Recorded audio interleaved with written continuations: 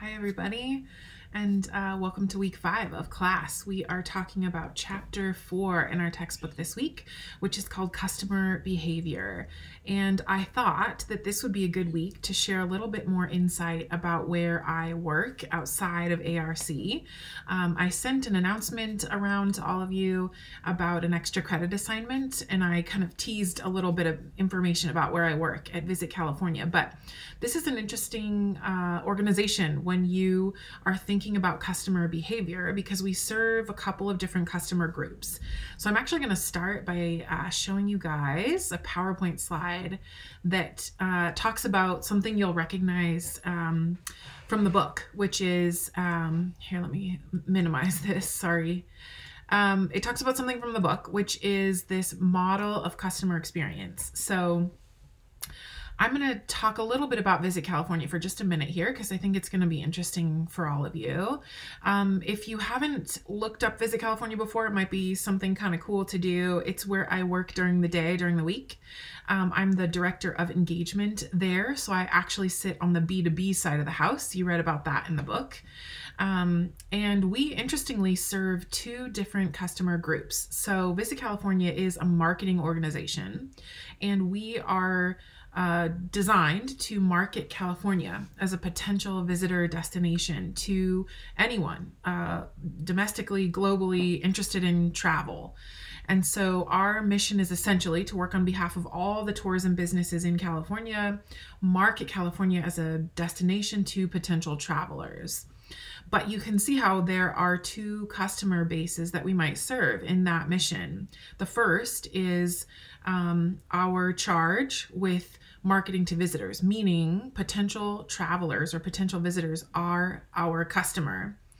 And then secondarily, we are working on behalf of other tourism businesses in California. So that's kind of our second customer group. So group number one, customer group number one is this B2C market, potential visitors to California. Group number two, which is where I work, is B2B, which are the tourism businesses in California that give us marketing dollars to market on their behalf. So we've got two customer groups and it's kind of interesting in this chapter chapter to talk a little bit about that. So I'm going to start with B2C. So potential visitors to California. You've probably seen some destination marketing commercials before. Maybe Visit Michigan. Visit Michigan used to run a campaign in California pretty frequently. And or maybe you've seen Visit California commercials. So um, we are uh, visitcalifornia.com is kind of our main homepage. It's the source where we keep all information about travel to California, including travel alerts like road closures, COVID 19 restrictions, etc. But I'm going to show you an old commercial. I'm uh, showing you something that's a little bit outdated, but I think maybe it will help you to recognize what we do at Visit California and uh, how we market the destination. So let's take a look. People have a lot of misconceptions about California, but none of them are really true. None of them. They think we're all surfers, We're celebrities. That we're all into yoga. and that everyone owns a winery. Or skateboard. and that we all drive convertibles. Where did they get these ideas? Like how we all live in bikinis and act like rock stars. You want to know the truth about California? Get out here. We'll show you how we roll. Start your trip at visitcalifornia.com. So that gives you a little insight into um, our television commercial. That's an old commercial. It's like from 2010 or 11, but um, we market California, right? We hope to inspire you to decide to come to California when you're thinking about going on vacation somewhere. Um, we used to have international offices and we would do that same work globally in 13 different international offices. Obviously, all of you know that travel has been um, paused essentially uh, during COVID 19. So, a lot of that work has stopped, and really we are focused domestically. But interesting to think about that that is Visit California's customer base number one potential visitors to California. We are uh, hyper focused on convincing um, mother with three children and a husband to decide that San Diego is absolutely the place she wants to come for vacation, or the group of girls going on a road trip. Uh, we hope to convince them that Highway 1 is the place that they should visit, and uh, we highlight all the experiences along the way where to stay, where to eat, all the exciting kind of insider tips. We work with local destinations to ensure that we are promoting the things they want to be promoted. And that takes us to customer base number two, which is the tourism businesses in California. So interestingly, we've got these two, this two, uh, this duo, this dynamic between serving potential visitors and serving the tourism businesses that operate in California.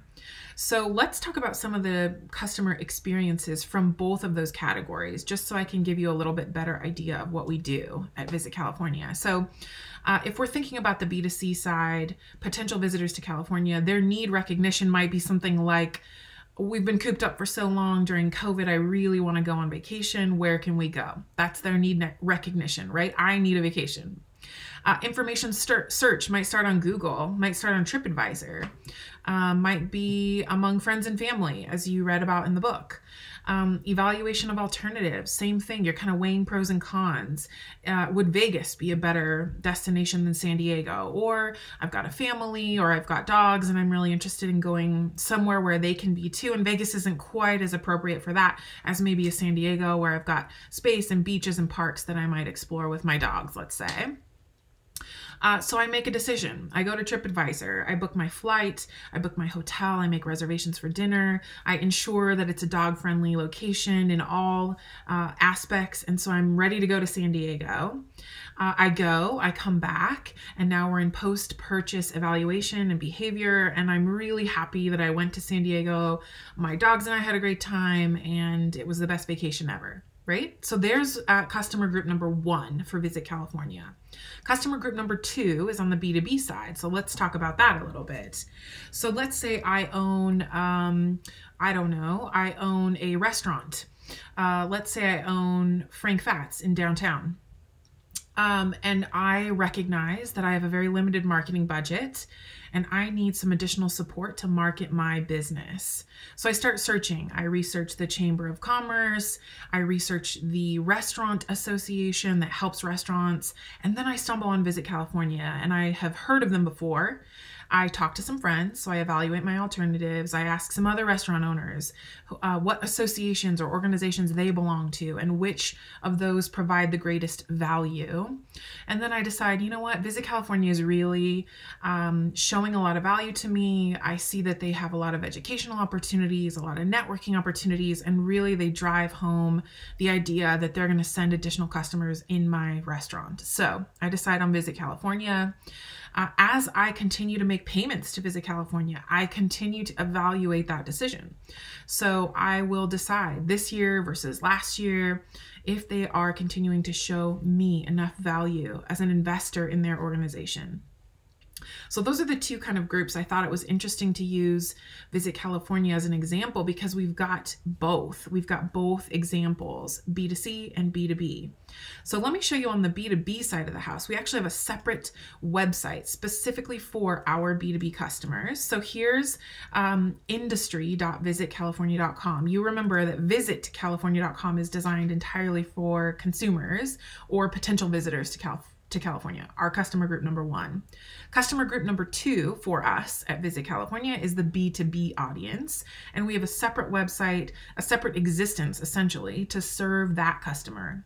And those customers are investors. They're businesses operating in California, like a Disneyland, a Universal Studios, a Frank Fat's, a Visit Sacramento. All of those businesses are customers of ours in that secondary B2B side of the house at Visit California. So this website, industry.visitcalifornia.com, is all designed to serve the B2B audience, that group that has decided as a business owner to invest in our um, marketing firm called visitcalifornia.com. They've decided to invest and now they're here and they want to know what we are doing for them. So, this is the website designed for our investor group. And this is actually where I work at Visit California. So, one of the things that we do for our investors, um, aside from marketing to potential visitors, that's our main mission, right? They belong to Visit California because we will bring visitors to their business, more visitors to their business. But another thing that we do is provide educational opportunities. So we help them learn best practices in the industry uh, learn from their peers and their colleagues. We bring in expert speakers and hopefully share insights with business owners in California, help them to operate and run their business better. And that is where this Outlook Forum conference comes in. So if you have not, take a look at our announcements page. I actually posted an extra credit assignment. Um, and the opportunity is to attend this conference. So the conference is for that B2B audience, actually. It's designed to help inform the owner of Frank Fat's, the chief marketing officer at Visit Sacramento, the general manager of the Marriott Hotel across from your apartment or your house, all of the tourism businesses in California we invite their leaders, their industry leaders, to come and participate in this conference. So I'm going to talk about the conference just a bit because I, I want to spend a minute on here explaining your extra credit and tying it back to what we have learned so far in class and what we'll continue to learn. So this is um, an Outlook Forum conference. It's just the name of our educational conference that we hold every year at Visit California. Typically, this conference is in person. We travel across the state. We have 800 or so in person attendees. But this year, because of COVID 19 and limitations on group gatherings, we've decided to, for the first time ever, host the conference online. So we have this conference taking place this week, um, depending on when you watch this video. It's happening uh, Thursday, February 18th and Friday, February 19th in the mornings. Um, and it's all about how to market your business better. And so I think many of you told me that you're already working in marketing, that you're uh, thinking about or interested in opening your own business and needing skill sets to market your own business this conference will help you gather insights into that. And i really recommend that you go for whether whether you write the assignment the paper for extra credit or not. If you're interested in marketing at all, this conference is usually six or seven hundred dollars, limited to 800 people, the first 800 that sign up. So it's a really good conference. Um, we're a reputable organization. It will be travel focused, but if you pay close attention, it will resonate and and apply to any type of business. So you'll hear us use a lot of travel lingo. We'll be talking about airlines and hotels, restaurants, travel restrictions, attractions. So they're very, it's going to be very travel focused, but pay close attention because all of the practices that we talk about, the strategies we suggest, and tactics we suggest that you implement can apply to any business. We just happen to be talking about travel. So, uh, if you haven't yet, come to outlookforum.com. I'll post that uh, with the video so you can take a look at this website. Here we are. It's hosted by Visit California, but this is the conference webpage. So, when you're here, if you scroll down a bit, it'll tell you about Outlook Forum. These are photos from in person events that we've had in the past. Uh, that's Carolyn Beteta. She's our CEO of Visit California um, you'll see the four different tracks here. So there are different tracks happening throughout the two-day conference. So if you're really interested in innovating, there are courses throughout both days all around innovation. So you can kind of stay in one track, but you don't have to stay in one track. You can bounce around to different tracks over the course of the two days. So here's the schedule for Thursday, February 18th. There's two kind of general session um, sessions happening. Uh, first timers orientation, that's the session that I am teaching at the conference, uh, followed by a session about what's ahead for California tourism. That's our president and CEO, Carolyn Beteta. She'll be leading that. And then you get a decision um, to decide on which of these classes next from 11 to 11:45 which class sounds the most interesting to you? So dream with us how to create effective web stories. That means everything from your website to your social channels. How do you do that? How do you engage with your customers? How do you make a meaningful connection through storytelling over the web and as you can imagine even though it's going to sound a lot like travel specific it can resonate and can mean a lot for you no matter what your business is real estate, restaurant ownership, owning a gym. It really wouldn't matter. Just take those principles and think about how could I apply that to things I want to do with my career. Uh, the next option for the 11 to 11:45 time slot is rewire to rebuild your relationships. Uh, the next one is What's Next in Accommodations. That's a session that I'm helping to manage. Uh, and we're hearing from an executive from Marriott Hotels talking about what to expect in hotels in California, and then an owner of several hotels. Her name's Seema Patel. She owns six hotels in the Bay Area, and she'll be talking about what she expects for hotels. So if you're interested in owning or operating your own business, she'll be someone really interesting to hear from. She talks about her experience buying and selling hotels, what that looks like now during COVID, and how we move forward. So a really interesting session. Then from 12 to 12:45, you've got three other options on Thursday. This is all on Thursday. Uh, let me make this a little. Woo, let me make this a little bit bigger. Okay. Um, option number one in that time slot is wildfire season, prevention, preparation, and communication. So this is kind of a crisis response um, session, we're calling it. How do you respond to a crisis at your business? So if that's interesting to you in any way, attend that session. Maybe you don't have a fire at your business. Maybe wildfires haven't damaged your business, but if there's any note inside of you that kind of peaks up when you hear um, crisis prevention or crisis management, uh, that's the session for you. It'll be a really good session. We've got some expert speakers there um, talking about wildfire prevention and how to communicate to customers during a crisis, but that can resonate beyond just a wildfire, and you'll really hear a lot of good insights in there. Harness the power of online reviews. Think about how valuable that can be, especially many of you are interested in the real estate field. Um, harnessing the power of online reviews is essential to any business, really, any small business, especially. And in the re- relationship building world of real estate, what could possibly be more important than maybe in person interactions is harnessing the power of how people feel about you and what they say about you online. So, a really cool session. That one might be interesting for you to attend. And then what's next in airlines? I'm helping to manage this blue track, so I happen to know a little bit more about that.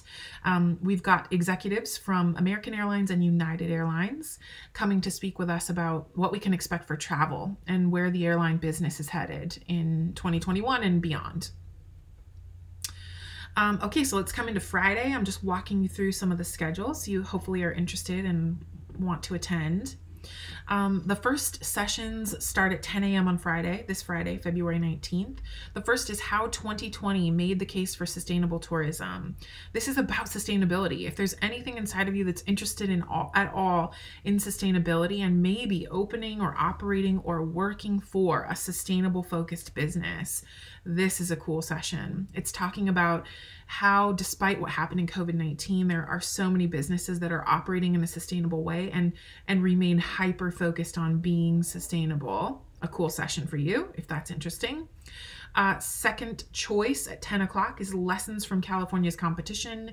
Uh, we are hearing from some folks in South America, someone in New York, and I think someone in Wyoming, which is where I'm from, uh, talking about how they are marketing their own destinations. So a real another deep dive into marketing and those two sets of customer groups, serving the travelers, serving the businesses that invest in your travel organization.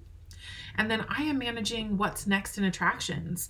And if you are a Disney fan, Universal Studios Hollywood fan, you may want to come to this session. They, uh, we've got the president and CEO of Disneyland, um, Ken Potrock and his counterpart at Universal Studios Hollywood, her name's Karen Irwin.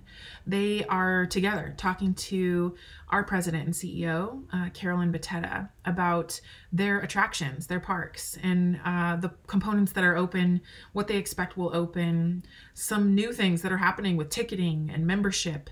Uh, new rides that they are opening. So, just a cool look into what's ahead in the attraction space in California all again with a marketing twist. Who are they focused on at their attraction? Who will their customer base be once they're able to open? How is that different than what their customer base was before COVID? So, really interesting session. If you're at all a fan of Disney or Universal, a cool, interesting deep dive and a, a unique opportunity to hear their presidents and CEOs. So, that'll be fun.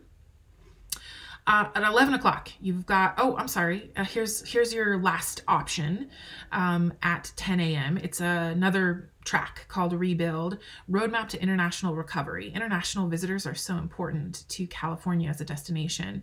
Um, we have a session talking about when we can expect international visitors to return to California.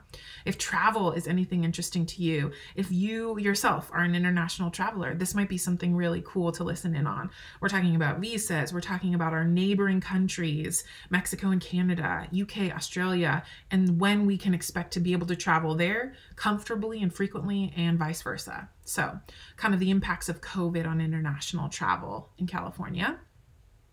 Okay, now let's talk about the 11 o'clock time slot. Uh, first up is balancing visitors and residents in a post COVID world. There, again, is kind of this interesting dynamic of serving two customers.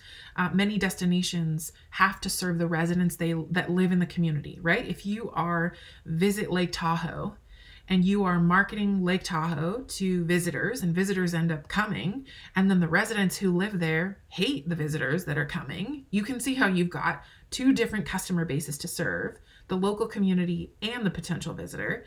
And finding that balance, striking that balance, is something that we're going to talk about in this session. And it's a real actual uh, challenge at the moment um, in in Lake Tahoe, in Mammoth, in parts of uh, the Central Coast, where the number of visitors is getting problematic uh, to residents. And so, how do you balance customer needs when you have two customer groups and their needs conflict? And that's an interesting and kind of deep dive into that conversation. So, if you're at all interested in that, a really good session to attend at 11.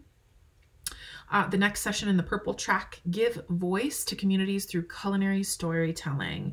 Again, another kind of interesting deep dive into how to tell your brand story, how to tell your own personal story online, and how to incorporate other diverse opinions and um, perspectives when you are telling that story. Sounds kind of fluffy, but it's actually very much a part of marketing these days is telling your story succinctly and interestingly online and you will have to do that as a realtor you will have to do that as a business owner so um, sounds a little bit odd maybe in the title and the description but i think a really good online focus for anyone interested in marketing themselves or their business and then we're at the blue track. That's my track again. What's next in transportation? We have an executive from Avis Budget Group our largest rental car company in California, talking about uh, road trips alongside uh, his peer and friend in the industry. Her name is Lisa Allen, and she owns Amador Stage Lines. Maybe you guys have heard of them. They're based here in the local area,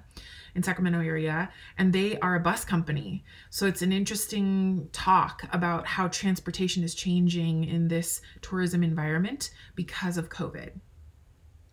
The last one at 11, this is your last option for the 11 o'clock time slot. What's ahead for the US economy? Uh, hmm, maybe sounds boring to all of you. It's probably the most important session for our business attendees. They are really hyper focused on what is ahead for the economy and especially for the tourism economy. When will things begin to open more broadly? What can we expect in terms of visitation and therefore um, you know, customers and visitors for all of our businesses. So, um, a really interesting deep dive into what we expect in terms of the US economy over the next year, six to 12 months essentially. And then last but not least, our very last session on Friday, 12 to 1245, starts with the option of Stronger Together, a Visit California co-op workshop. Um, Visit California offers co-ops, um, cooperative opportunities for our business partners to buy in to larger marketing promotions that we're doing at Visit California. This will tell you some really interesting uh, tactics in terms of how to market your business, how to rely on others, including partnerships outside of your own organization, how you can leverage what other people are doing to really extend your own marketing efforts. So, kind of a cool partnerships um, session if that's interesting at all to you. Uh, the Purple Track 2021 Trends in Destination Storytelling. Uh, that means trends like how to tell your story succinctly and interestingly on Instagram versus TikTok. What does that mean for you? Is it worthwhile? Will you get customers from doing this type of thing? And, and if so, how do you do it better? So again, Purple is really focused on storytelling, which is essential for anyone interested in owning or marketing a business and with a focus online because that's really where we interact the most these days. Uh, and then my track, the blue track, what's next in restaurants?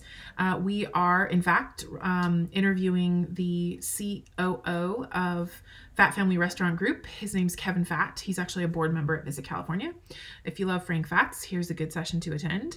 He's talking about what they have done in the pandemic, how they are surviving, uh, staffing, hiring, marketing, all kinds of business operations discussion.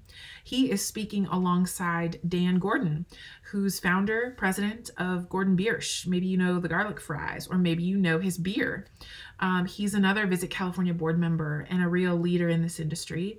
His uh, many of his restaurants have closed, are still closed since March of last year, and so we'll get to hear a, a tough conversation with him and Kevin Fat, uh, Dan Gordon and Kevin Fat about how do you survive? If you're a restaurant owner these days, how do you even survive in all of this? So, uh, several of you um, mentioned wanting to own a business or interested in cooking and baking, uh, maybe owning a food truck. One of you mentioned maybe you'd own a food truck one day. This is a cool session to attend for you. It's really the honest reality of the struggle of what it feels like to own and market a restaurant today.